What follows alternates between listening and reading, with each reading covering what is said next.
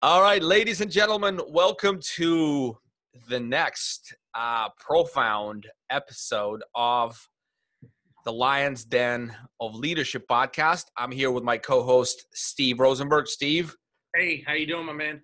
oh, he is in the good mood today. We're on for a good one, and today, obvi- well, so let's just step back for a second. The purpose of this podcast, if those of you who are just tuning in have no idea what this is all about, well, we're gonna discuss um, we're going to break down leadership into its components and attempt to go and dig deeper into um, life and success of an entrepreneur as well as the failures right? We'll examine those. We'll find nuggets of wisdom. We'll surface them out for you to grab and take advantage of. And so today we are uh, going to talk with mike catalano. Mike how are you Hey, fellas, how's it going? I'm doing great. Thanks for having me. Is that what we're talking about today? talking mike catalano Well, let, let me intro Mike. Um, let me intro Mike, if you don't mind, Steve.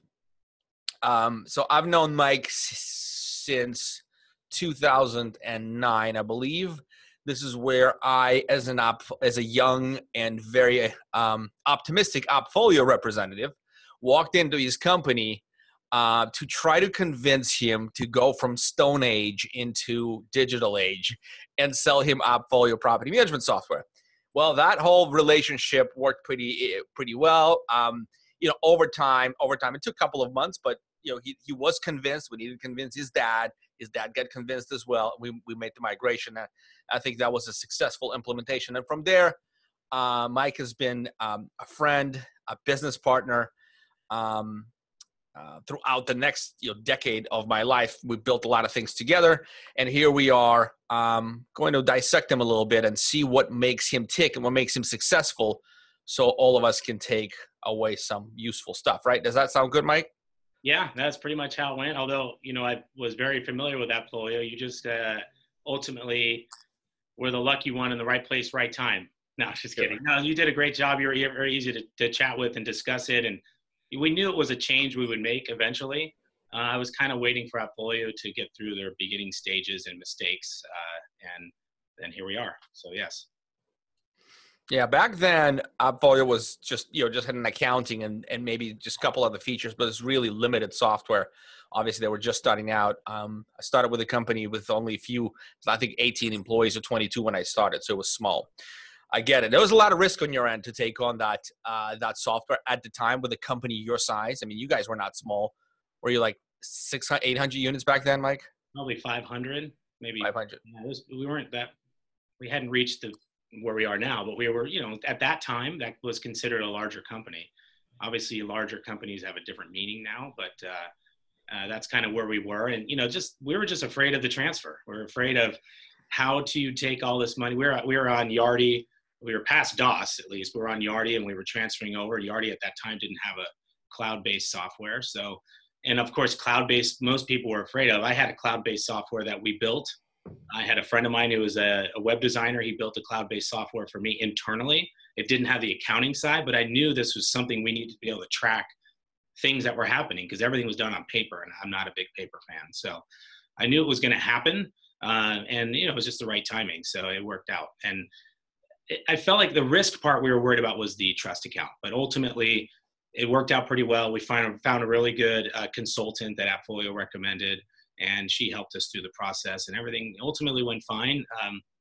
the hard part i was having a kid at the same time Mm. so we were transferring on january 1 and i had a kid on january 4 so it was a pretty interesting time to uh, to deal i was taking call actually took appfolio calls in the delivery room Mm. my wife looking at me and she's a know, google exec so she looked at me and understands how we work and she looked at me and she said all right take the call. So she knew but we had a little problem with the trust account we got but we got it taken care of. So long story short it ended up being really working out really well.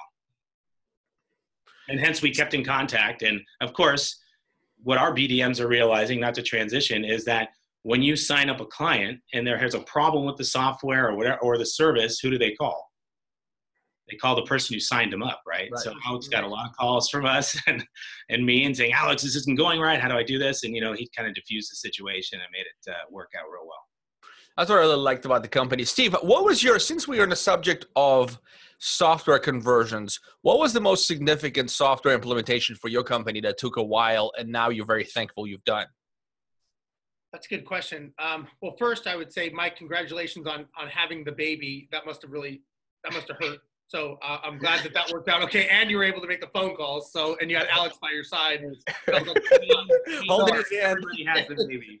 So times have changed. Um, uh, but going back to your, you know, what's interesting when you were talking, I was just thinking in my mind because I'm I'm kind of back in that sales and marketing mode because I stepped back in as, as VP of sales and marketing uh, at Empire. And what's interesting is is basically Mike, what Alex did, I'm guessing so eloquently is Mike didn't have a problem or realize he had a problem until Alex maybe brought it to the forefront.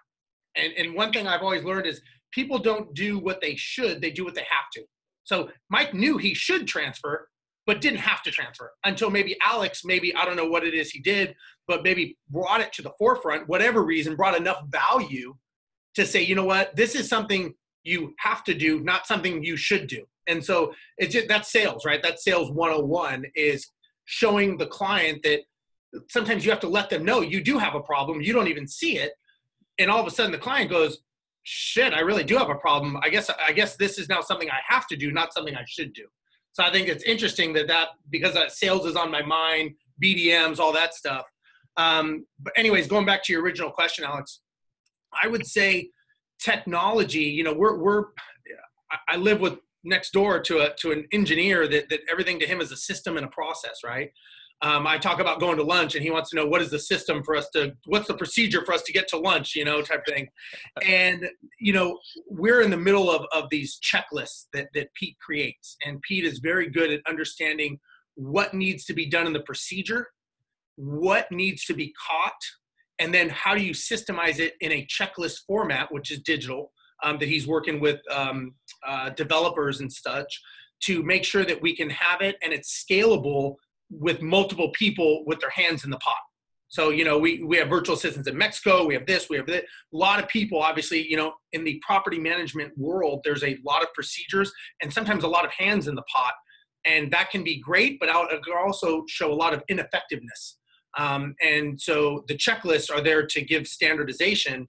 So obviously, when a system changes, a software, an idea, a whoops, whatever happens, now we got to go back and we got to change that software. We got to you know we got to change a step in the process. We something has to change. So it's a it's an ever evolving software change. But i am very glad that we have it because it has definitely made our business scalable not only to have properties in multiple cities but to have staff members in multiple cities and we can give the same deliverable product everywhere we go and that that was the key to doing that Mm, very interesting. So you you basically right now it's the, biggest challenge that you found is actually developing your own system to make sure that your operations are tight, consistent, repeatable, and eventually profitable. Correct, correct. Because you know the, the biggest challenge is you know as you grow, systems break and people break, and they say you know 50% of your people and 50% of your systems will break during growth mode you speed up your growth mode you're speeding up the breaking of things. And you, you have to be okay with that and realize that you know you're going to piss off owners you're going to piss off employees you're going to break systems.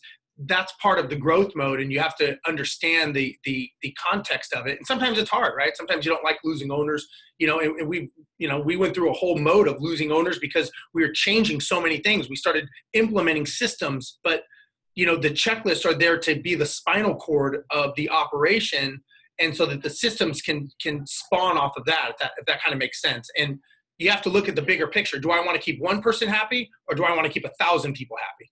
And that's that's what the systems and the checklist do. Hmm. mike what is your approach? You have a little bit diff- different approach to running a business. Uh, your growth seems to be just buying up companies. Um, is that is that has that changed? I mean what are you thinking moving forward? And and so maybe clue the audience in into sort of your operation and and how do you see growth in, in your own businesses? So look, as we've talked about many times, I'm always looking for acquisitions. Um, we've also talked about how many I've looked at and how many we've actually purchased. It's a big difference. It's a big number as far as how many I'm looking at versus how many I'm, I'm acquiring. So you have to have the other growth available, the direct sales growth. Um, you have to make sure that's uh, you have to have the processes in place and you know i have a few different companies and they all run a little differently and i only do that because the area which you know, we're in different three different cities in in california the areas might call for a different type of service a different type of people different type of investors. Um, i think we were talking before we, we jumped on air here is uh, you know i'm one of the companies in silicon valley. I have to have a different approach on how i pay my employees because i'm competing with the with facebook and google and all these big companies here. I mean netflix is like a quarter mile from me. Um, so we have all these big companies and we need to make sure we can pay our employees. So I have to have a different process and a different operation here. Um, when I acquire a company, I really look at their process and I don't change a whole lot until we get, I, I really get into the nitty gritty. I don't like to have a lot of change until it's time. But you do have to have, you know, we have the natural attrition that we've all talked about is, you know, probably five to 15% a year that we're all going to lose, whether it's through sales, or it's through you know owner not liking us or the owner moving back in and we have a lot of that in silicon valley because people leave for two or three years on contract and they come back in to the area. So we have to have a natural way of getting new business.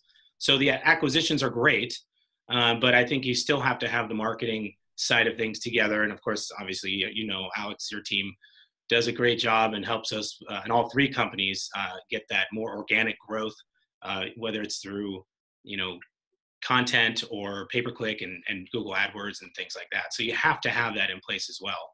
Yeah, it's it's the steady feed. You got to have that steady. You got to have that water running through the hose all the time.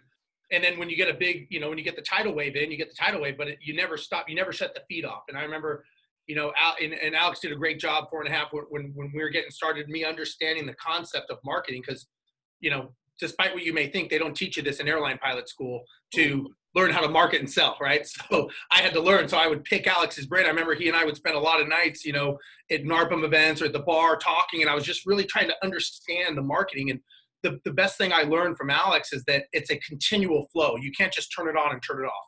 You've got to be committed to marketing and, and basically more important, not just marketing, but establishing yourself as the expert by continually educating people so that it kind of sells itself so that it makes the you know, we'll talk about the BDM. It makes the BDM's life a lot easier when they tell an owner, hey, have you had a chance to look at all our video blogs on our website? And they go, I did. That's why I called you. And you go, okay, we've already got the sale. They're already sold on us, basically, is, is what I've learned from Alex. And that was that was a huge flipping point for me of being able to understand having the the the internet basically sell for you because you're going on there as the expert and you're going on there as the educator, as opposed to just saying, look how great I am, look at all my trophies, look at my cats. I mean, whatever it is you do on your website, but it, do, it doesn't it doesn't solve their problem. So going back to what Alex said earlier, the reason he was able to close you on Appfolio is at some level he showed you that you do have a problem and that Appfolio is the solution. You may have walked in that meeting thinking, I don't have a problem.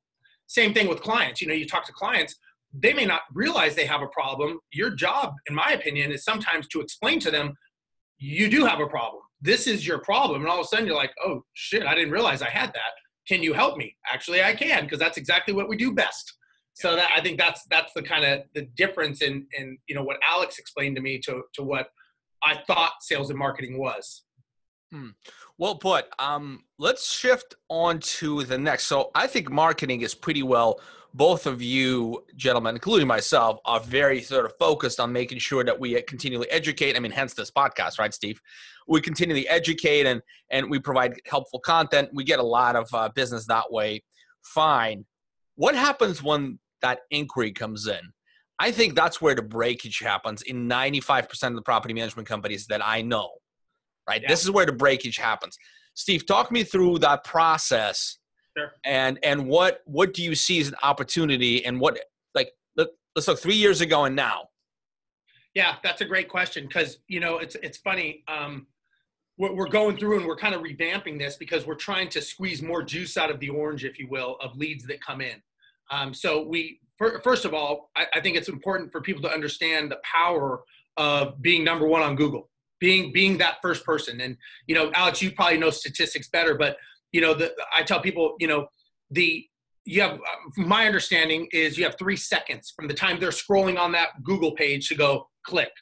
The first thing that makes them go click is reviews, right? If they say this company has two reviews and this company has 500 reviews, instinctively we're going to go with the company that has 500 reviews. No question about it. No question about it, right? Without me even selling, I've done that, right? So that's the first phase. The second phase is, and, and again, Alex, I'm, you can correct me if I'm wrong, but my understanding, the whole reason a website exists, the whole reason it exists is it's a conversion tool.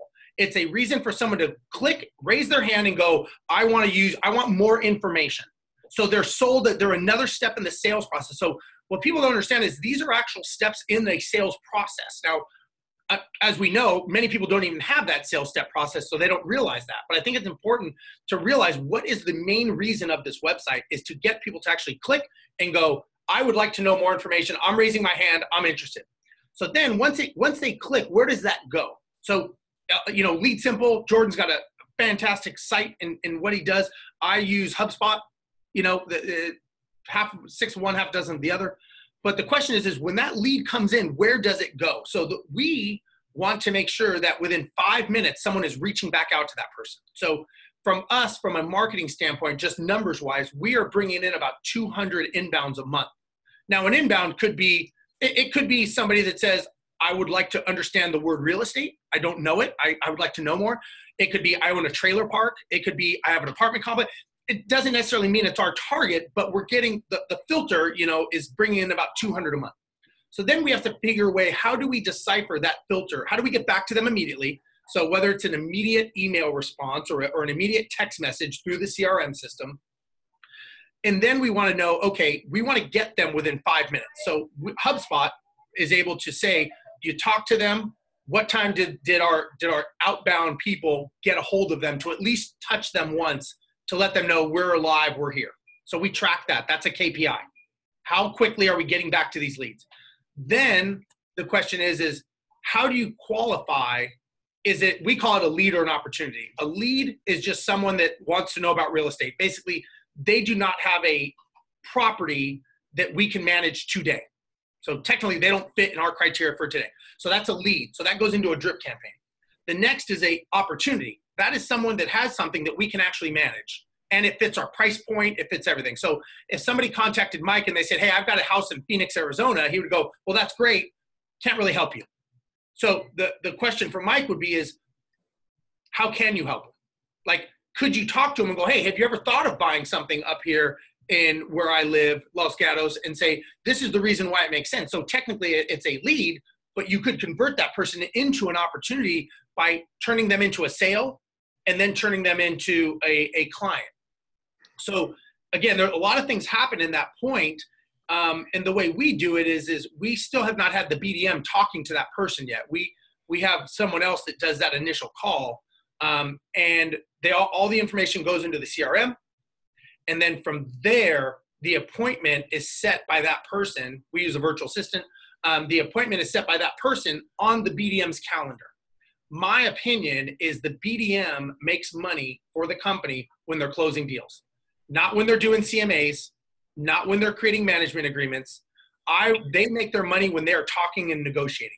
So my thoughts are when you have a BDM, what is it that's their strength and what is their weakness. So as you know in disc profiling, you know a BDM, a solid BDM is going to be a high I with D, meaning they're very social, they talk, they chat, but they'll close the deal. So you know Mike and I were talking the other day about a BDM and, and, and how do you pay them. I think the first thing is is do you have the right BDM? Do you have the right person for the role? Because if you have a BDM and you want them to create data and paperwork and CMAs, that's not a salesperson's profile you want to utilize their their strengths but then you also want to offset their weakness with someone else and that's why we use like we use virtual assistants to offset that because we feel that the best way to do that is play to their strengths not don't make them change because to me it's careful what you ask for right if you sell the bdm hey you got to put in your reports every day you've got to fill out your management agreements you got to do that all of a sudden they stop closing and now you're happy because you got your reports you got your documentation but now the reason you even have them on payroll or why you have them is they're not even closing deals because you turn them into someone else. You took them out of a sales. And a lot of people that run operations, they want their I's dotted and T's crossed, rightfully so. It makes sense. But you got to be careful what you're deconstructing in the salesperson itself because the salesperson is an animal of its own. As we all know, they're, they're, they're a certain type of person that you got to let them run. You got to let them do what they know how to do. And you have to equip them with the tools that they need to be successful. Yeah, and I think even just to add on that, if you even take this a step backwards, do most people even have a BDM? Because that's been that's the, big, the biggest change in the industry, right? And it's funny to me because I haven't had one for that long. I mean, we probably had one a little over maybe a year and a half, mm-hmm. and had somebody working in the Los Gatos office. Um, and it's so funny to us, me looking back now at the industry have, that hasn't had this, and, and you're wondering how in the heck did we not have this?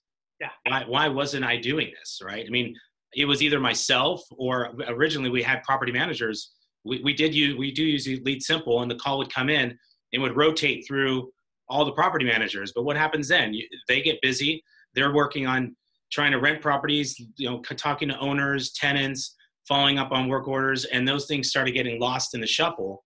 And then we're wondering why we are not you know growing at the the the, uh, the speed that we should.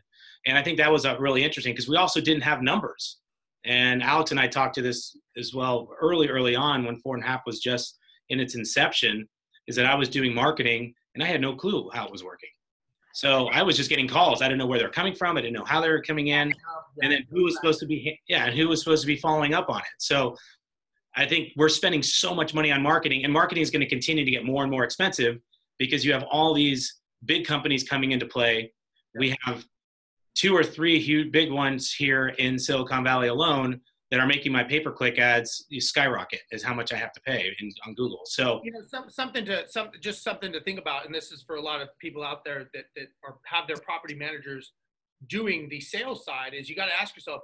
Normally, the disc profile of a property manager is a C, maybe even a CS, maybe a CD. They're not an I, so they're not salespeople. So they're not going to. They're probably they're going to be good at operations, but they're not going to be good at sales. So then you got to ask yourself, okay, how many sales, meaning dollars, are we losing because we don't have that person? And, and for me, and I don't know about you, Mike, or you, Alex, is every time we've had a problem in our company, it's because there's been no focus on that problem. Right? We had a problem with maintenance. Next thing you know, we created a maintenance division that, and when I say maintenance division, not maintenance employees, but people to focus on service tickets and make sure we're getting stuff done, closing them. That is their only focus. And when we had them as their only focus, all of a sudden things started getting fixed, right? When when if you want to do sales and marketing and you want to grow, the you know if, if you don't know those numbers, then you don't know if you're growing or not. Real reality is is you're probably wasting a lot of money and a lot of time and resources doing what you're doing, as opposed to going, you know what, let me hire someone, meaning a BDM, that knows what they're doing, that can close these deals. Yes, it's I don't even look at it as spending money. I look at it as investing because you're going to invest money in the BDM and you're going to get a return out of them. But you, have just put eyes on a problem that you weren't really even looking at before or know it existed. So you're right. I mean, I think the fact that the the industry is evolving, and I would tell people that if they are not evolving and they don't start learning sales and marketing, I think at the end of the day, every company out there, I don't care what they sell, is a sales and marketing company they either sell a product or a service. They have a different widget. But Alex is a sales and marketing person. He's got to get out there. He's got to get in front of people. He's got to make them known, and then he's got to close them. Same thing with us. Same thing with United Airlines. Same thing with Coca Cola. It doesn't matter. Everybody has to market their product and sell it. We just sell something different, right? We sell something different than Alex sells. But at the end of the day, that really is what we are. And if your phone is not ringing, you're going out of business. You just don't realize it yet until your bank account says zero or negative, and you're like, oh shit, by that time momentum is so far beyond you you're never going to catch up. And i think that's the challenge is I, I think that in the property management industry and mike you, you've been in this longer than i have you know this was started by a lot of operators. So a lot of operators create the best management company. But what they don't realize is now with the internet and, and companies out there that can explode you like alex can all of a sudden you realize that just because you create a great product doesn't mean you're going to stay in business. I mean, look, I could put a hamburger stand next to McDonald's. I would go out of business because they can outmarket me. They don't make a better burger, but they can outmarket me because they understand sales and marketing better than I do for their product. And I think that's the thing people mistake is they think they because they do it so well, because we have a great product, because I'm the nice guy and I I personally call each owner if you can't get that message across to them in, in a way that conveys it that they have a problem and that is a solution, it's just a matter of time until you go out of business, I think. And I think people are realizing that now, Mike, by people realizing like I need a BDM. Yeah, and absolutely. And and and Alex would probably love this part, but sales is it's an art and it's a science. And yeah. it's not just I got a phone call and they signed the contract. I mean, sometimes that happens, but most of the time people are, you know, just doing some research or fishing a little bit, and you need someone who continues to follow up. And that doesn't happen when I had the property managers do it. And it's no knock on them at all. I mean, they're just they're doing their jobs, right? And it's the follow up is tedious when it comes to BDM. And these are things I'm learning over the last couple years is really setting up processes involved in how you follow up, how you know sending them all our videos and our content and things like that. But having one person assigned to that or multiple, I mean, we have a couple here, um, depending on how many leads are coming in. But it's really important that you have someone that's handling that because if you lose those leads that you paid for, you know, your client acquisition cost goes skyrocketing through the roof because you're getting all these leads and not closing them. And, and I've always learned, you know, you you systemize 80%, you humanize 20%. So a lot of people try to systemize the 20%, yeah. the what ifs. And, and at the end of the day, you got to go, okay, you know what, let's just systemize the bulk of what's going on. Mm, I like this one. the rest. And I think a lot of people, they get it backwards because, you know, a lot of property managers are operators. So to them, they want it perfect. And, and, and, you know, that's okay. But you know, having a perfect company go out of business because you've got the best systems doesn't help anybody. And I think that, you know, understanding where your value is and, and what you bring to the table, like you said, the, you know, the drip campaigns, you know, and emails, right? That's that's systemizing 80% of the people. You get them, you put them in a drip campaign, you're good to go. Now you're going to have the others that, that you don't, but I think that's important to understand. What are some of the things that you can systemize that will constantly reach out and touch people. And you can, you know, again, lead simple. You can do all that content with Alex. I mean, that, that's that's where it comes in of utilizing. I don't need to become an expert marketer. I just need to hire people that know marketing. I hire people like Alex, these other people that know what they're doing. I don't I don't need to learn accounting to run a company. I hire accountants. Same thing. And I think that's the misconception a lot of people have. Um, and like you said, Mike, I mean, property managers, if you have them doing a bunch of things, the one thing that they're good at and the one thing that you hired them for, which is property management, they're not going to do good because you're having them do a whole bunch of things. Whereas if you hired a BDM that just did BDM, and, and by the way, I think it's important to understand that there is a difference in sales and there's a difference in marketing. Some people rub it together. They go sales and marketing. Two different disc profiles, two different people. A marketing person is all about data. Um, and, and Alex knows my, my marketing guy, Kevin, he is a data guy. He wants to know cost acquisition per lead, per strategy. I mean, it's all spreadsheets and numbers, right? That's his strength. But that, I mean, do you agree with that, Alex? Different. Oh, oh I do. I worked with Kevin for a long time. You realize this, right? Yeah. I saw him grow up. So yeah, yeah. Um, so, and, and I think that's the important thing. A lot of people need to to uh, to understand, especially in this industry, because things are changing. And like you said, Mike, you know, just because you have the best systems and processes, you get a big company that, that rolls in or, or you know company that can spin it better. You may be better but it's it's not it's it's how you present it. And sometimes these companies have the dollars to be able to. Now I, w- I would counter what you're saying about the pay per click in the sense that you know having the reviews having the ranking on Google, having all those things, having the, you know, I've got, I don't know, I, I, probably have about 300 video blogs on my website of me talking about all the different problems owners have. I sell a book on vlog topics. I mean, there's stuff that you can do that is not a monetary thing, but it actually humanizes you and it allows um, people to see you as the educator because my understanding is nowadays marketing is not the big Coca-Cola they want to watch the guy who's the CEO of Coca Cola on Instagram and see how he lives. That's more of the marketing that they want to see. They don't want to see the big production. They want to get to know you, the person, and go, how are you, the person, going to be the one that I want to hire? And so, and I remember Alex, you know, one of your PM Grow Summits, and you, when you had Marcus Sheridan there, the first one that I saw him, and I think he said the average pages that people look at is like 72, if I recall. It was a huge number that they look at before they've even gone on and called you, they've already done their homework on your website. So that tells me they're either sold or not sold just by your website. Seventy percent. Seventy percent of the buying cycle happens without you taking any sort of participation in it, except through your content and the information you're willing to share with your uh, audience, with yeah, with the people. I wanted to. I wanted to. So, a couple of things, uh, Steve. Maybe I can. I can do this. Um, um, little tweak for you, or at least uh, uh, uh have you think about this little trick to help you get uh, more qualified leads walking into your BDM's hands faster, right? Because you said your first line of defense is your VAs who are qualified, competent people. I get that 100%. uh, we've seen more success now with actually going uh, outside of a convention to have a very simple form.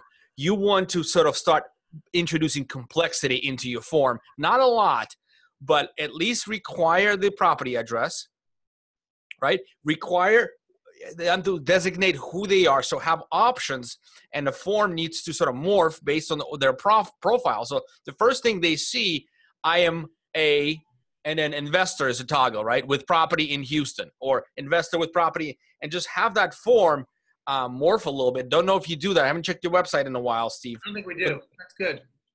That will help you qualify those leads um, a lot better when they come in. So you decide, okay, do I send my VA on this or this is because I have the same thing, man. I have 16 different forms people fill out from downloading some spreadsheets um, with with like how to uh, figure out BDM pay and and I, I do unit economics, like all kinds of ebooks on my website versus free consultation. When you fill that out and you give me your information about your company, Logan is on this. Like that's that's my customer. You that's you manage you manage a portfolio of properties. You're looking to grow significantly fast. You've uh, um, you want to talk to Logan. Uh, everything else, we'll put them in the drip. It also actually will because obviously we do this because Four and a Half does our our websites and helps us with all our marketing. But there's also a toggle down for tenant. So if they click tenant, it's going to weed that out immediately, so you're not wasting your time calling like them and finding out on a phone call. Let me look at your form, Steve, while you guys talk amongst yourself for a second. Well, this is the first. I want to make the second point. So oh, yeah, I, I, think there's a there's a, a, a, a, tremendous opportunity for you to to sort of um, uh, optimize your labor uh, and optimize your BDM's time because sometimes it's worth the BDM actually making that first touch. I agree, and it's funny because that that is what I was saying. We're actually thinking of changing up a bit because I think where we're losing leads is in that filter between the time the the the VA or VAs talk to them and they do a fantastic job, but I think where we're losing that is let's say let's say they say, "Oh, I can set up appointment tomorrow morning for the for the BDM to talk to you." Well, statistically, they're talking to three or four other companies as soon as they hang up the phone with me. Quite possibly. So like car shopping, right? The last thing you want to do is have the car salesman call you after you've just been on three lots. You're like, you know what? I'm good. Thanks. I appreciate it. You know, no big deal.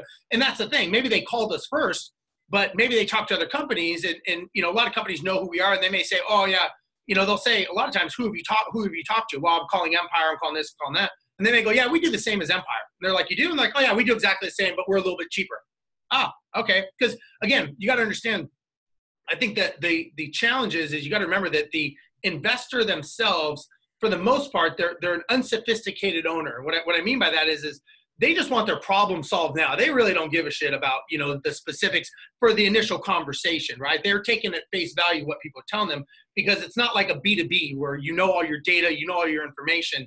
This is someone who owns one property, maybe they just bought it, maybe they're reluctant landlord like like Mike said they're moving out of town for a couple years and they're coming back. They just want this kind of done and over with. This is kind of something that they they really don't want to deal with. They just want it over with. So to to to deal with it right away or to say, you know what, okay, I'll wait two days or a day or an hour or whatever. They want, like you said, this is the now society and people want their questions answered now. They don't necessarily want to wait. And if someone else can answer that question, it may not be better, but its speed is the key. And I think that's the one thing that we're learning is if we can get to them quicker, which basically means BDM, that's the key. Well, and what also means answer the phone, right? Answer the phone. It, I think Alex and I talked about this early on. I think that Marcus Sheridan may have may have uh, touched upon it as well. Is if you don't answer the phone, you lose. It's like an eighty percent chance you're not getting that client. You're you're, you're right. significantly. I don't know the exact numbers, but that's why you have that row of people. If it comes in and that person's unavailable, goes to the next one, goes to the next one, and you answer that phone immediately. Because getting back in touch with them you'd be leaving message and that's what the follow-up is but calling them and calling them and calling them trying to get them on and we had this at an early age in my family because we had a property management hotline in our house and it wasn't about sales it was just about service yes. and if we didn't answer that phone in two rings we had a property management hotline you would see three kids like sprinting through the hallways trying to get to that phone call before because we didn't know if it was going to be a tenant or it could be you know my uncle or my father who are all into the real estate industry you had to answer it. And we had that same thing here in this office. We answer the phone because most companies you call, you get all these voicemails. Yeah. right? You can't get a, get through to somebody, and I think it's important to still answer that call, whether it's your virtual assistant or whether it's the Somebody.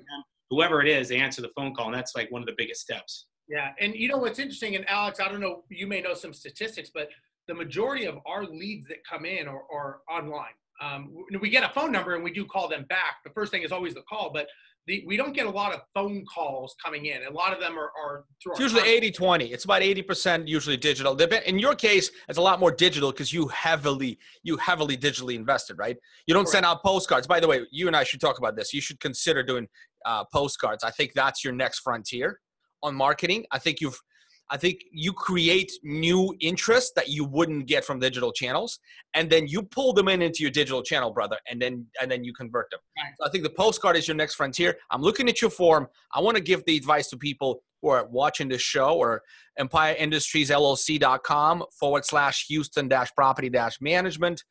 And I'm looking at your form. The first thing that says on the form is a first name. The only qualifier, so first name, last name, email, phone number, it's all good. Rental property postal code. I don't know why you call it postal code. Well, you know um, the re- so I'll- tell you I'll tell you why, and- maybe I mean, it's, it's a HubSpot form, right?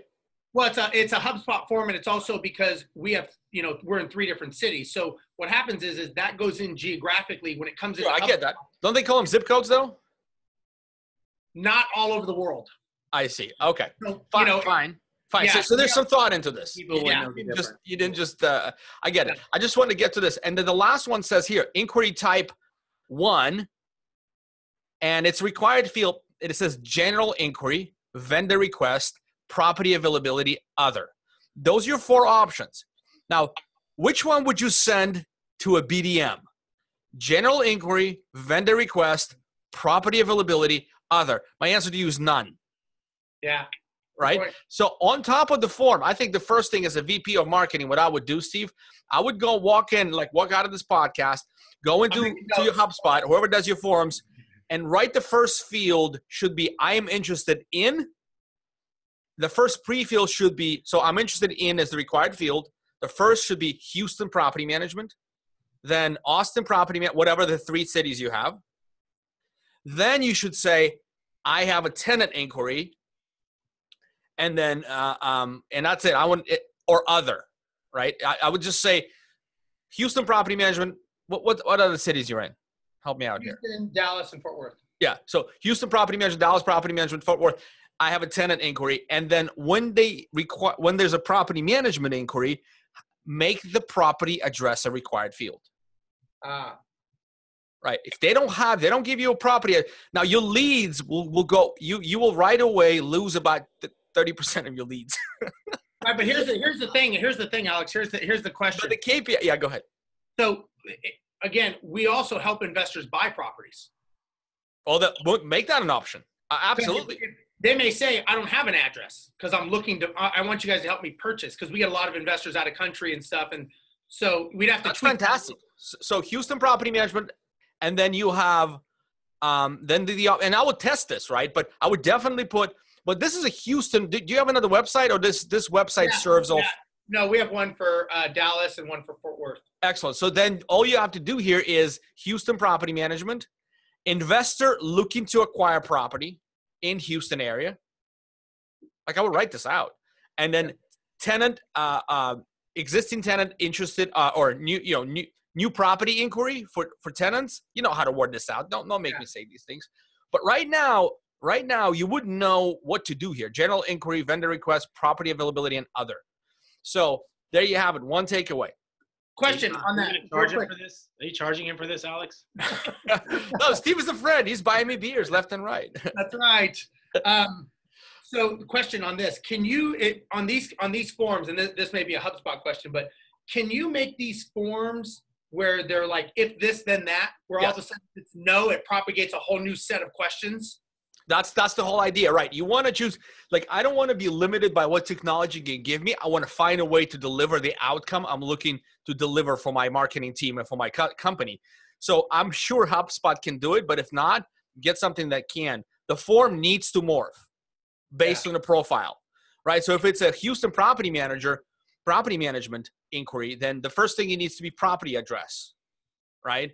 And then you need to fill in their first name, last name, and whatever information you need. I wouldn't be afraid to have five or six fields in the form just because if somebody's serious about this, they want to know you are serious. If I'm sending you a general inquiry with just my name and email, that doesn't seem like very serious to me. But be prepared. You will break your KPIs doing this, Steve. You will have go from 200 leads to probably 100. Well, that's fine because I mean the, the thing is is are they really leads? You will hit your numbers though. Yeah, right. Because the BDMs will actually call the high value leads, while the rest will be will go through the same process you have. Yeah, I mean, that out. They become white noise, you know, when it's right. too much, and you don't you miss the important leads because you're going through and you're filtering through, and that's one of the reasons. You know, we have the the, the VA team. I mean, we have a team of three virtual assistants that all their job is is basically to call back, to touch up. They do all the follow ups too with the BDMs after, like so they'll do all the um, secondary follow ups. You know, the the six months down the road, call me then. They they take care of all that because that's not a strength of a BDM, right? The BDM strength is talking, negotiating, closing. And that's I want them focused on what they do best, not all the things that they should be doing. Exactly, exactly. That's really good. So you put them on an order. You know, you somebody who's not ready to buy right now is is that's that, that's a perfect use for VA to continuously follow up until they surface the opportunity. Then again, they got to pipe it into the BDM's hands. Yeah, exactly. To, to close it. I'm on Mike's website right now, and if like this one, so he's got a couple of things. And by the way, it's rec rec dash rentals.com. And he's got the first call to action, the first form, so to speak, is I want free rental analysis. That's on the owner side of uh, and that has a property address. Obviously, if somebody wants free rental analysis, they got to give us the property address. And so that qualifies people in or out right there. We have um, a lot of luck with ours. With Mike, do you have a lot of luck with your rental uh, estimator? We, we actually get a lot of leads from that that actually convert. Yeah, no, I think it's great. It's it's a, people are that's most of the calls that come in. People are trying to find out what their property's worth, and as, yeah. as far as the rental side. So it works out really well. It gives us a good touch point, and it gives us it gives us a good reason to follow up. And we have a nice form that, that gets completed. And um, you know, our part they're not always perfectly accurate, but we we uh, review it and we make sure that if it is off, we we do some research prior and let them know and say, hey, this is what the report comes out. This is pulling from all these different areas, and and we did a little additional research, and they t- they tend to like that because it becomes really personal. Because it's not just fill out the form and then this analysis gets shot out to them. It's somebody physically reaching out to them, and and it's more of a personal touch. Uh, but it works pretty well. You almost hope it is off sorry, Steve, you almost hope it is off because then you can really showcase your expertise, right? Because if the, the automatic rental analysis is off, let me just finish this point. So on Steve, on Mike's website, if you just go to the form itself, which is on the footer of every single page, there's three options. A tenant with a maintenance issue, an owner interested in management services in need of something else.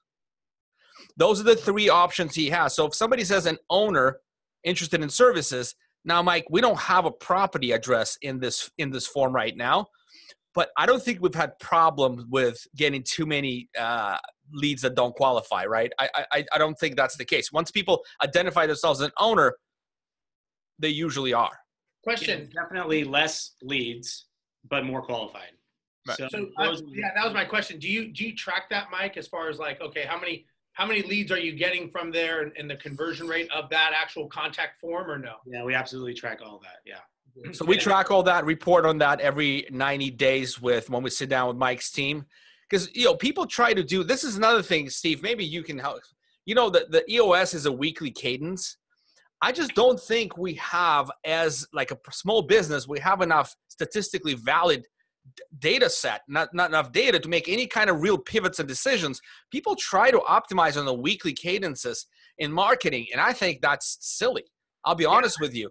You have to have at least a 90 day cycle to understand, like you have statistically valid sample that, that goes through a couple of months of iterations, and then you can make a decision and pivot. Like, why would you pivot every week? Yeah, I don't think you could do it weekly. We do it monthly um, and the reason, you know, 90 days could be a long time to make that pivot. And what I mean mm. by that, you may go through a full cycle. So what what what we start looking at is is year over year data. So all of a sudden we start looking at data and we go, you know what? Statistically, the first week of January is always down. So we may say, you know what, it doesn't make sense to put that much money into marketing the first week of January because we know statistically we just don't get that many leads. We could put $5,000 in, we could put $20,000 in, we're not going to get as many leads. So it does it make sense to market? It may or may not, but if you don't know that data, you don't know it. So I think 90 days is a little bit too long to pivot, in my opinion, um, because you're looking back. You're going in March, you're going, yeah, in January we kind of sucked and we overspent our budget by X dollars. But that was now it's like, okay, well, that was that was January, so we're already into April. We're kicking butt now because it's going into the summer months. So I think it may be a little bit too long.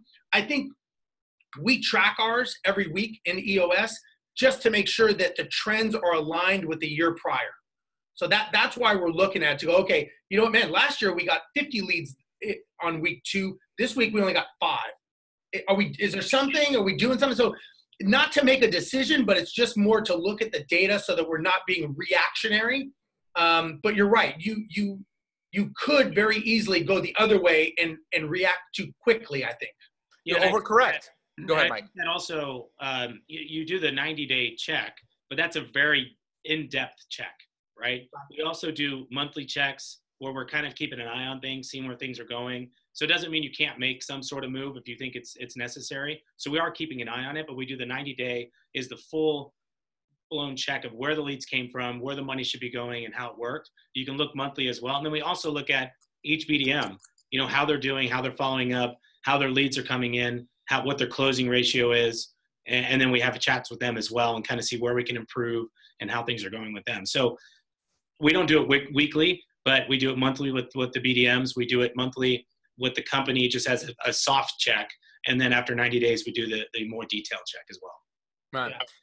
So I mean, I think you know, I think this is this was a, a good. I mean, we, we, could spend another hour here, um, but I'll I want to be kind to not to interrupt, Alex. But the thing is, I think an important part for anyone who listens to this and is looking to either have start having a BDM in your office or has one already, you're going to have to mold it to what makes sense for you and your market. You could start it and you can listen to anything in the world about what's happening around other property management companies, but you got to make it work for you.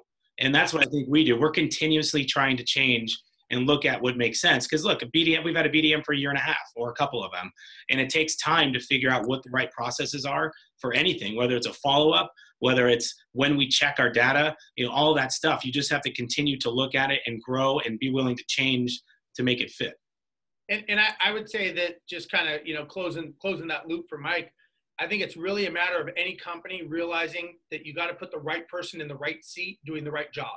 So, you know, I think it's don't try to have one end all be all. I think that saving money that way is actually not saving money. I think you're actually, you could be spending or practically wasting money if you have someone that's the wrong disc profile doing the wrong job. That it, it's just not going to work because you're trying to save a couple dollars you got to remember, you know, to me, definitions are everything. And, and, investing in marketing is different than thinking you're spending money in marketing. And I think you, you know, a lot of people have the because they're operators at heart, they don't really think about investing in marketing and having a salesperson and a marketing person and understanding truly what the definition of a marketer is, what the different definition of a salesperson, an operator. So I, I, think that you know, make sure you really realize what is that role, what are the duties to that role, and what is the disc profile of that role. And I think that would help set the right baseline.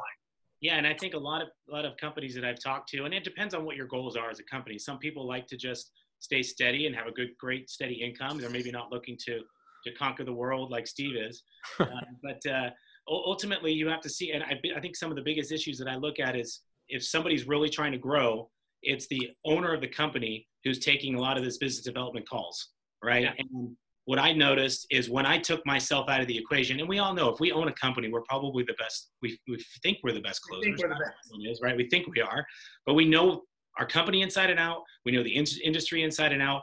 But what I noticed, you know, I think it was about eight years ago, is I took myself out of that equation. I stopped managing properties. I stopped being a BDM.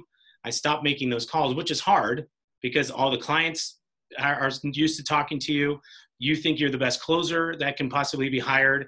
Um, but if you get these people in place and you can help watch them and help them grow and put, set them up for success, number one, they're going to pay for themselves because of the money they're bringing in. And number two, you're going to free up your time to really work on concentrating on the company itself rather than in the company, right? Because you start working on the day-to-day tedious stuff, you can't grow your company.